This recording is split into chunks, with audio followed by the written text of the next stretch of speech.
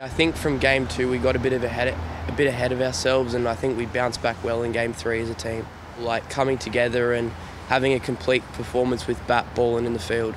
Must be pretty pleasing for you to get some runs on the board and also spend some time out there with Jack Edwards, who you know pretty well. Yeah, yeah, it was good fun. Um, taking on those bowlers, and I suppose it's a bit annoying to keep getting starts, but still got two opportunities to fix that.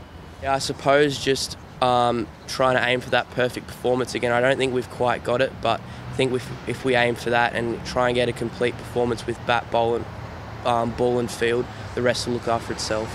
What's been the highlight for you coming here and, and getting to play for your country? Oh, I guess just seeing how everyone bonds together as a team and just comes together as a group and seeing everyone else perform, it's just been good.